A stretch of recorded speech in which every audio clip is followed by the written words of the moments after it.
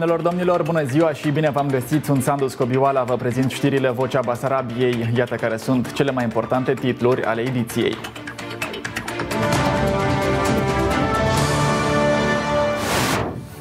S-a scris istorie, Consiliul European deschide negocierile de aderare la Uniunea Europeană cu Republica Moldova și Ucraina. Republica Moldova se confruntă astăzi cu două mari pericole, politica agresivă a Rusiei și corupția înrădăcinată în Republica Moldova. Acest lucru este stipulat în noua strategie de securitate națională. Ungaria a blocat un ajutor de 50 de miliarde de euro din partea Uniunii Europene pentru Ucraina la câteva ore după ce s-a ajuns la un acord privind începerea negocierilor de aderare.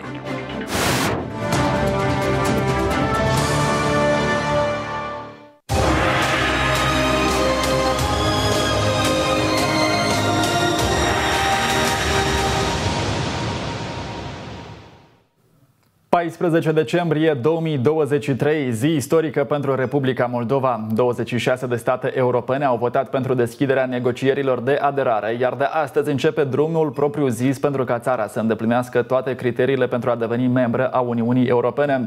Aceeași decizie a fost luată și pentru Ucraina, deși pe tot parcursul zilei de ieri s-au dus tratative îndelungate cu premierul ungar Victor Orban pentru a nu bloca drumul Ucrainei spre Uniunea Europeană.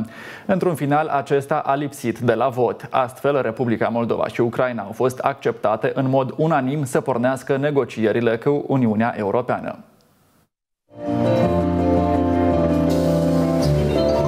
Urmează stația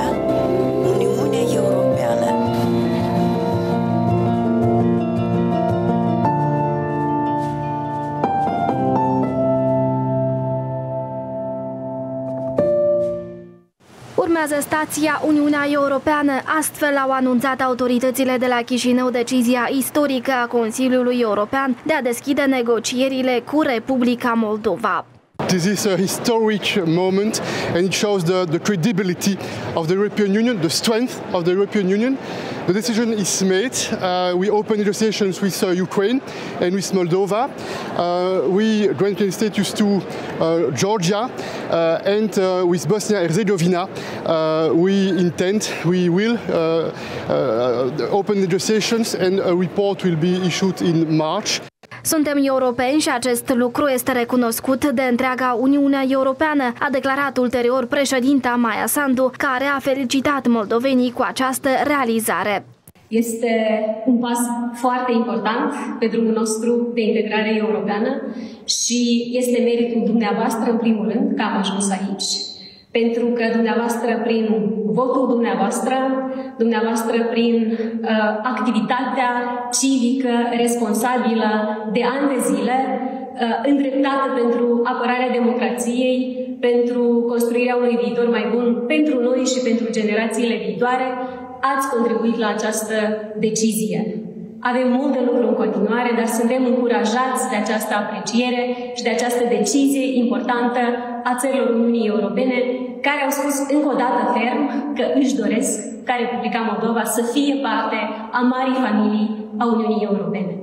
Președintele Parlamentului Igor Grosu a menționat că votul Consiliului European reprezintă un moment istoric pentru Republica Moldova, marcând cel mai important pas de până acum către aderarea la marea familie a Uniunii Europene. Vreau să mulțumesc la rândul toți, pe toți cei care au crezut în noi, care au crezut în faptul că Republica Moldova, o țară mică, dar cum și-a căpătat uh, renumele cu inimă mare, a putut într-o perioadă foarte scurtă de timp, prin, trecând prin crize, una după alta, am demonstrat, ne-am demonstrat nouă, în primul rând, și am demonstrat tuturor că lucrurile frumoase și mari pot fi făcute atunci când pui multă inimă, dăruire și crezi în ceea ce faci.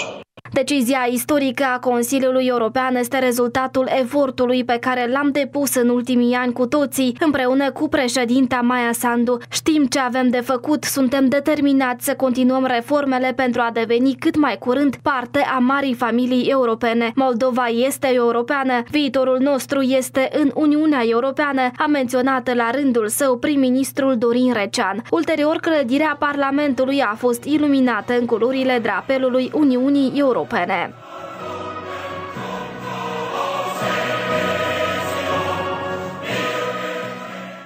Vicepremierul Nicu Popescu spune că după o perioadă importantă în care Republica Moldova a implementat cu succes recomandările Uniunii Europene, statele membre ale Uniunii au emis un vot pozitiv pentru deschiderea negocierilor de aderare. Potrivit ministrului afacerilor externe și integrării europene, decizia Consiliului European reprezintă un moment istoric pentru Republica Moldova.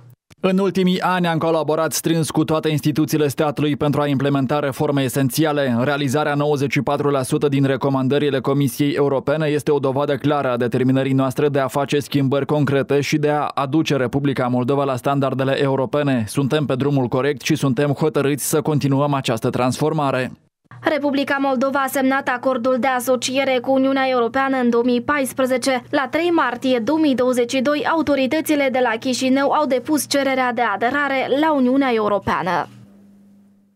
Europa este Moldova, Moldova este Europa. Este mesajul scris și transmis în limba română de președintea Parlamentului European Roberta Metzola după decizia Consiliului European de a deschide negocierile de aderare cu Republica Moldova și Ucraina. Și alți lideri occidentali au felicitat poporul și autoritățile de la Chișinău, spunând că acest pas reprezintă un semnal clar că locul celor două state este în familia europeană. Șefa Parlamentului European a adresat un mesaj în limba română pe platforma de socializare X, însoțit de un scurt video în care apare alături de președinta Maia Sandu. Europa este Moldova, Moldova este Europa, a scris președinta Parlamentului European. Iar președinta Comisiei Europene, Ursula von der Leyen, a declarat că este o decizie strategică și o zi care va rămâne întipărită în istoria Uniunii. Suntem mândri că ne-am respectat promisiunile și ne bucurăm pentru prietenii și partenerii noștri, a transmis Ursula von der Leyen. Președintele Consiliului European Charles Michel a scris totodată că decizia de joi seara reprezintă un semnal clar de speranță pentru popoarele și pentru continentul european. Președintele român Claus Iohannis a felicitat autoritățile de la Chișinău după decizia luată de Consiliul European. Vă sprijinim, fiți curajoși, faceți reforme și împreună mergem mai departe, a spus liderul de la Cotroceni. Cred că nu exagerez dacă spun că este un rezultat istoric. Este un pas foarte, foarte important pentru Moldova, pentru Ucraina și Republica Moldova și Ucraina. S-au străduit foarte mult, au reușit într-un timp record să obțină progrese remarcabile și aceste progrese au fost văzute și onorate și premierul Marcel Ciolacu a salutat decizia Consiliului European și a transmis felicitări Republicii Moldova și Ucrainei pentru demararea negocierilor de aderare la Uniunea Europeană, subliniind că România rămâne un susținător ferm pe tot parcursul procesului de negocieri. Salut decizia Consiliului UE și felicit Republica Moldova și Ucraina pentru demararea negocierilor de aderare la UE. România este și va continua să fie un susținător ferm pe tot parcursul procesului de negocieri. Deschiderea negocierilor de aderare la Uniunea Europeană cu Republica Moldova și Ucraina reprezintă un semnal puternic de sprijin și încredere în aspirațiile și eforturile de a face parte din familia europeană, se arată în mesajul emis de delegația Uniunii Europene la Chișinău, după decizia istorică luată de Consiliul European. Această decizie marchează începutul unui nou capitol în relațiile noastre și subliniază angajamentul delegației UE în Republica Moldova de a susține țara în parcursul său european. Continuăm să lucrăm împreună pentru un viitor mai prosper și mai stabil pentru toți cetățenii Moldovei. În același timp, președinta Maia Sandu și liderul de la Kiev, Volodymyr Zelensky, și-au adresat mesaje de felicitare reciproce. Este o onoare să împărtășesc calea de aderare la Uniunea Europeană cu Ucraina și președintele Zelensky. Nu am fi astăzi aici fără rezistența curajoasă a Ucrainei împotriva invaziei brutale a Rusiei. Să pornim împreună în această călătorie pentru a construi o Europa și mai puternică și mai unită. Felicit fiecare ucrainean în această zi. De asemenea, felicit Moldova și personal pe Maia Sandu. Istoria este făcută de cei care nu se plictisesc să lupte pentru libertate. A scris președintele Volodymyr Zelensky. Amintim că Parlamentul European la 5 octombrie și Comisia Europeană la 8 noiembrie au recomandat Consiliului European să înceapă negocierile de aderare cu Republica Moldova. Ședința de azi a Parlamentului a început cu un gest solemn în contextul deciziei de ieri a Consiliului European, care a dat undă verde pentru începerea negocierilor de aderare pentru Republica Moldova. Șeful legislativului a venit cu un mesaj de felicitare, după care deputații au onorat imnul Republicii Moldova și pe cel al Uniunii Europene.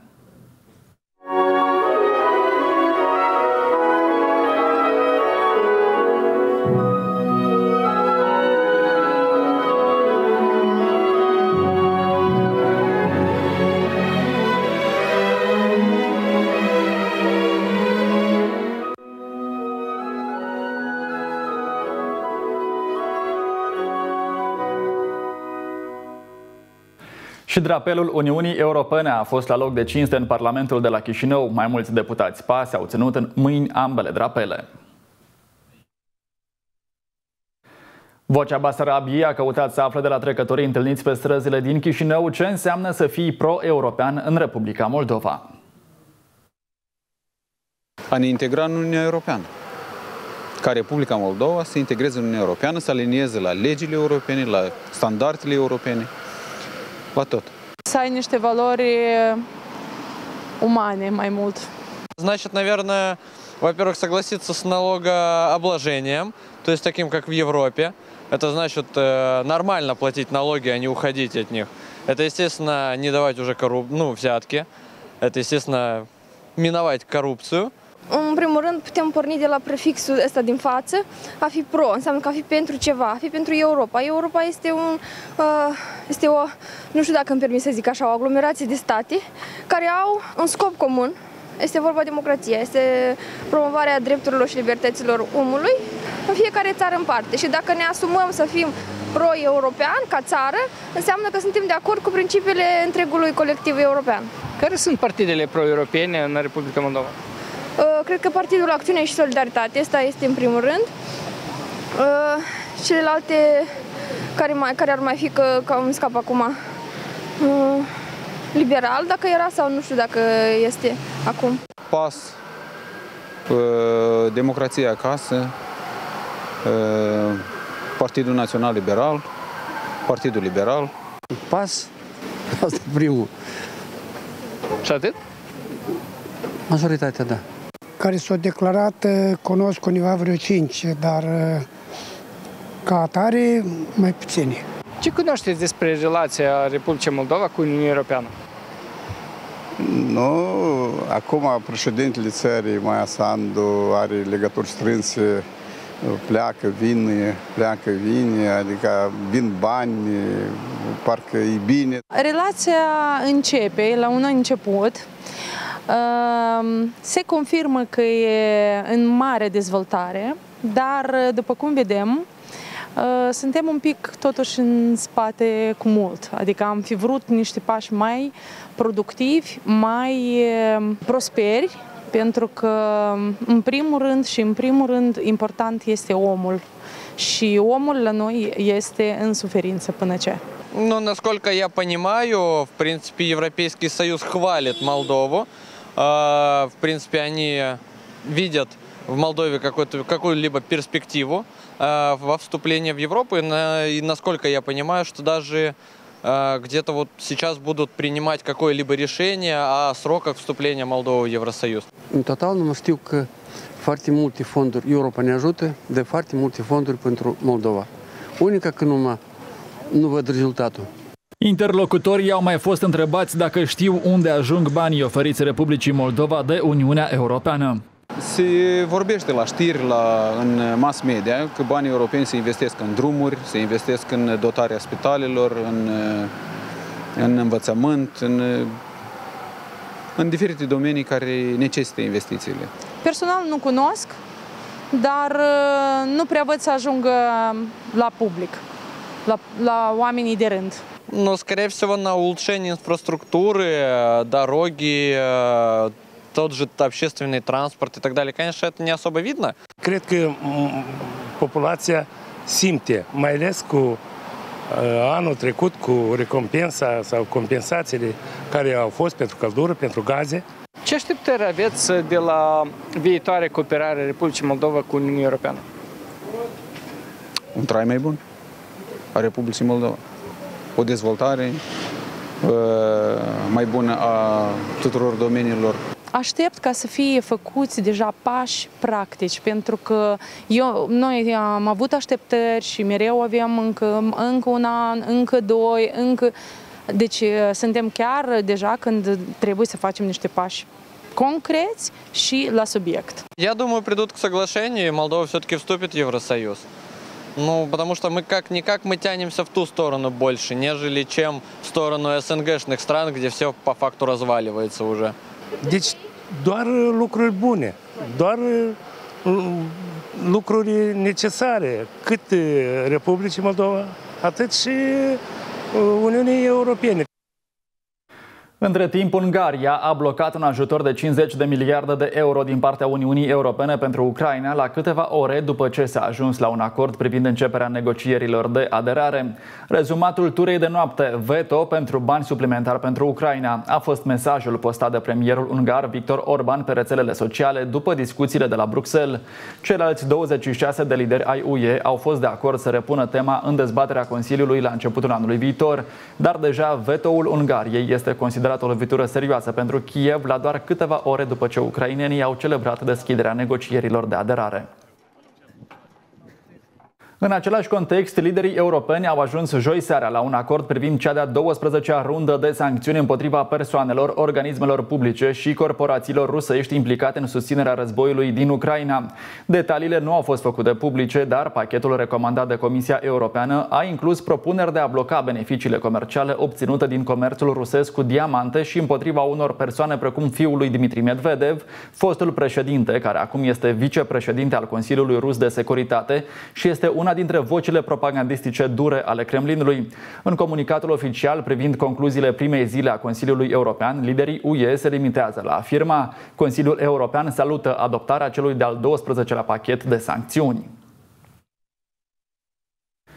Republica Moldova se confruntă astăzi cu două mari pericole, politica agresivă rusă și corupția înrădăcinată. Acest lucru este stipulat în noua strategie de securitate națională care urmează să fie aprobată astăzi de Parlament. Documentul a fost propus la inițiativa președintei Maia Sandu. Într-un interviu pentru Vocea Basarabiei, președintele Comisiei Securitate Națională, Apărare și Ordine Publică, Lilian Carp, a declarat că în prezent războiul Federației Ruse în Ucraina are implicații grave asupra securității naționale a Republicii Moldova Moldova, inclusiv în domeniile economic, financiar, energetic și al ordinii publice. Noua strategie prevede câteva elemente noi, uh, redefinirea noțiunii de securitate, redefinirea uh, uh, securizării spațiului informațional, uh, securitatea cibernetică, sunt câteva elemente noi care se, se regăsește în noua strategie de apărare. Documentul conține viziunea strategică pe șase ani, definește clar obiectivele și principiile de securitate. A expirat vechea strategie, Republica Moldova trebuia în câțiva ani în urmă să aibă această strategie de securitate. Sunt noi condiții și riscuri uh, asupra securității Republicii Moldova și această nouă strategie, uh, ea oferă noi viziuni despre felul cum trebuie instituțiile noastre să-și dezvolte sectorial uh, capacitățile pentru asigurarea securității naționale. Printre obiectivele de securitate incluse în document se regăsesc consolidarea, dezvoltarea și modernizarea sistemului național de apărare pentru garantarea suveranității securității și integrității țării, creșterea rezilienței naționale la amenințările hibride și fortificarea culturii de securitate, întărirea instituțiilor și consolidarea mecanismelor de combatere a corupției, extinderea parteneriatelor strategice cu Uniunea Europeană, România, Statele Unite ale Americii, NATO și colaborarea la nivel internațional pentru securitate și stabilitate.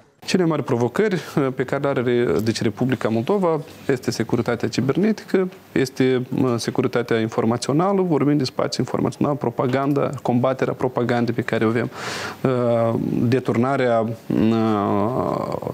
rezultatelor deci, electorale prin faptul că în Republica Moldova sunt destule ingerințe prin coruperea electoratului pe care, pe care îl fac anumite elemente criminale din Republica Republica Moldova.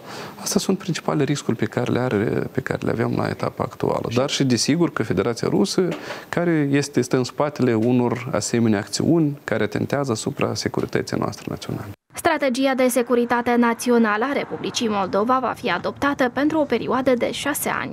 Această strategie este sigur o garanție în condițiile când este o foaie de parcurs, cum uh, instituțiile noastre trebuie să-și consolideze capacitățile în condițiile noilor riscuri pe care noi le avem. Dacă nu ai uh, deci o foaie de parcurs, dar ce trebuie să întreprinzi, atunci instituțiile noastre nu au cum să se dezvolte. Potrivit lui Lilian Carp, Republica Moldova a moștenit un sistem autoritar, iar din această cauză unele instituții ale statului nu asigură încă pe deplin buna funcționare în combaterea pericolelor cu care se confruntă țara. Instituțiile statului, ele au fost, noi le-am moștenit dintr-un uh, regim total autoritar, mai bine zis, al lui Plahotniuc, unde e, uh, au existat așa numitul statul paralel, unde deciziile se luau în altă parte, nu în instituțiile de stat, se elaborau, elaborau documentele necesare pentru, uh, sau prin care se administra statul în altă parte, Parlamentul era doar un instrument de, de votare și atunci a fost decapitat capacitatea instituțiilor noastre. De ce este nevoie de timp ca ele să poată fi construite?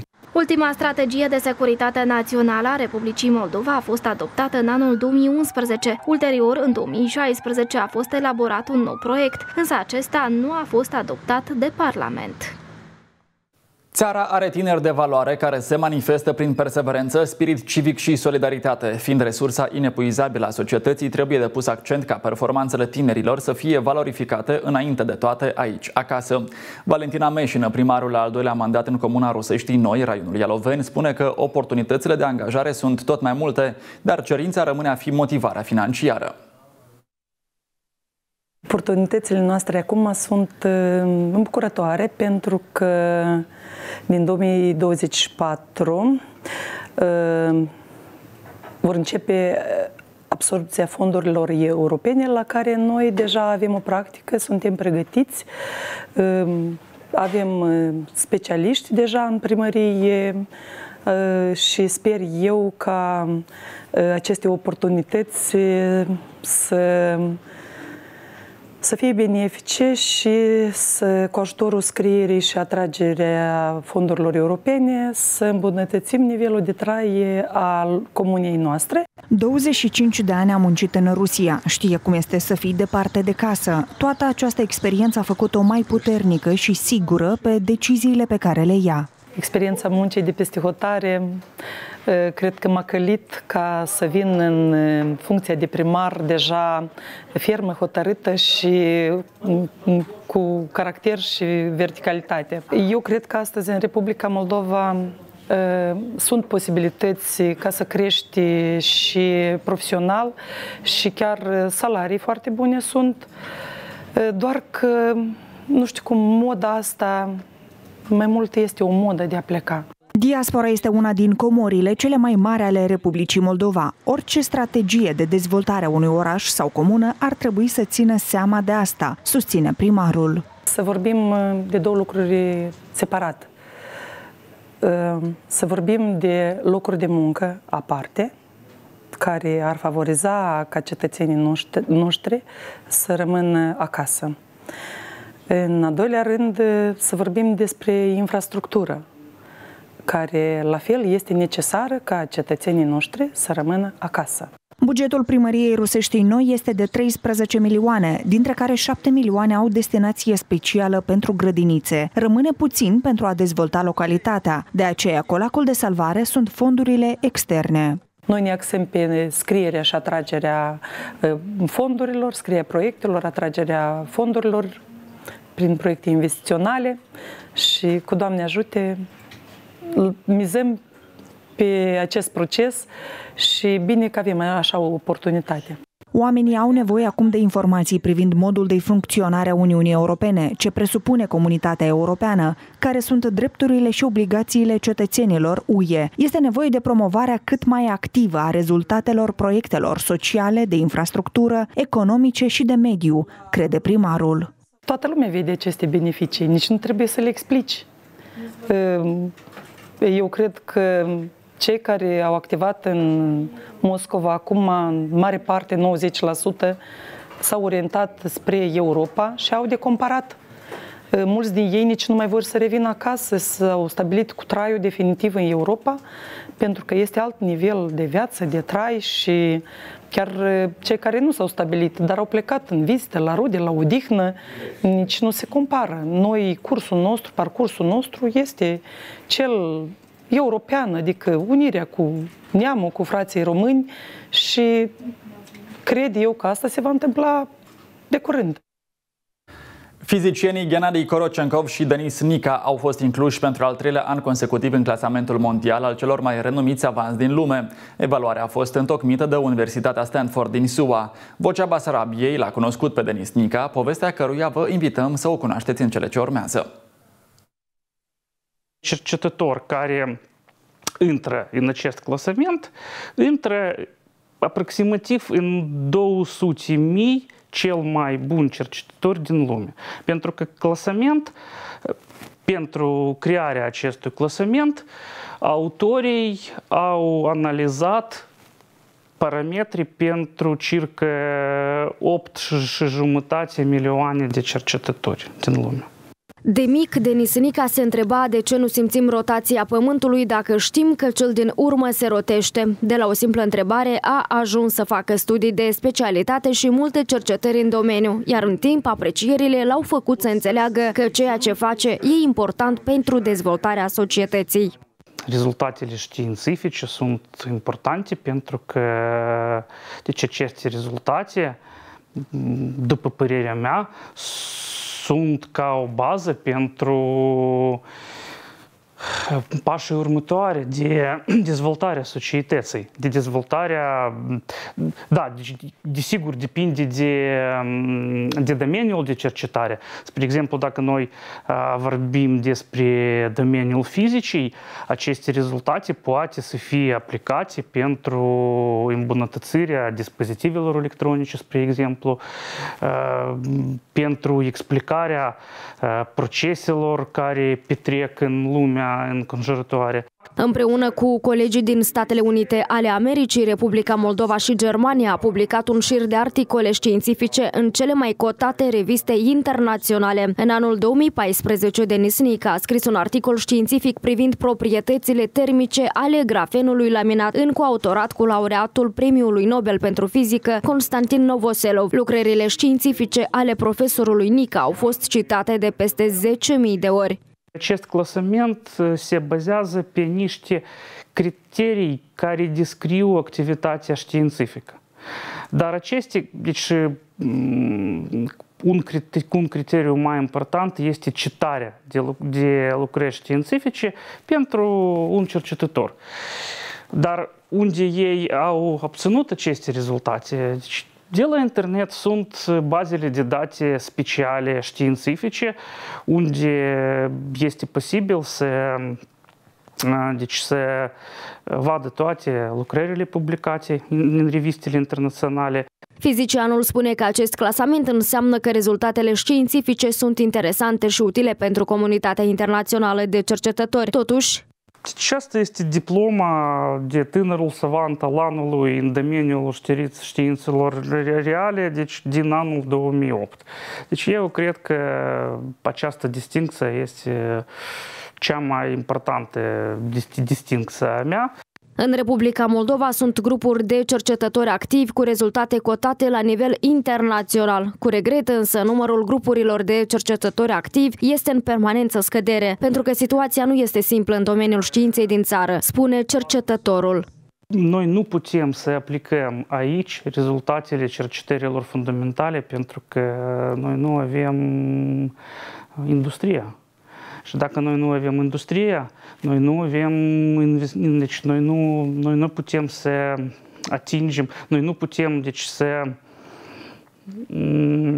deci nu putem să, să căutăm aici investitorii, spre exemplu, pentru că cercetarea științifică în domeniul fizicii fundamentale și este destul de, de costisitoare dacă, dacă aceste cercetări sunt cercetări experimentale.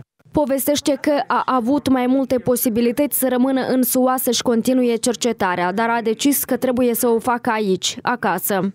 Pentru mine este destul de important și cercul social, părinții, prieteni, rude care sunt aici, în Moldova. Deci asta prima. Și al doilea, sunt fizician teoretician și pentru lucrul meu este necesar numai un calculator modern și acces la revistele internaționale. De curând a fost distins cu premiul special Dana Conea Petrișor pentru realizări semnificative în domeniul științei. Premiul i-a fost acordat în cadrul festivității decernării premiilor naționale Negruții 200 pentru anul 2023, organizată la Universitatea Alexandru Ioan Cuza din Iași ultimă diploma, deci care, au, care am primit la Iași, deci diploma în privința premiul Negruță 200. Doamnelor, domnilor, știrile se încheie aici, oricând ne găsiți pe vocea Basarabiei.md, Facebook, Instagram și pe platforma YouTube. Urmează datele meteo, rămâneți alături de Vocea Basarabiei, vocea care ne unește.